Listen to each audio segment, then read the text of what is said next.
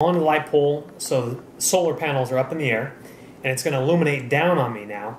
Now, once you hit the on and off button, it will only illuminate when it is dark, guys. And so let me go ahead and hit the lights and show you how bright the lights are. Be right back. Awesome, guys. Very, very cool. Let me just show you that real quickly here on camera. Again, very, very nice. Let's go ahead and hit that button there. So there is off, and there is on.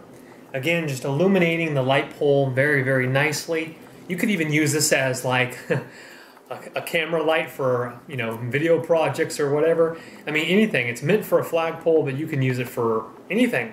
You could pick up two of them and just use it to uh, illuminate plants or whatever. Illuminate the side of your house. You know, sky's the limit, guys. But definitely, definitely very, very nice. Let's get a little close-up of it and uh, take a little bit of closer look and see what's going on. All right, guys. So again, we have our solar panels here, and there are six solar panels on there. And again, with the plastic on there. Our little hole for the, of course, the flagpole there. Again, the company is GRDE.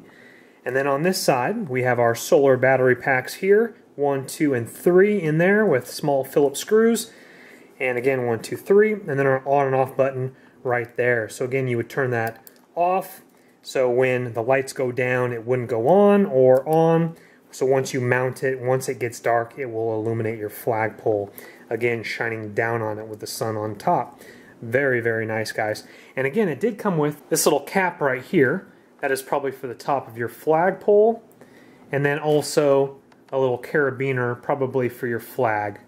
So definitely, definitely nice, guys. So I hope you enjoyed the video.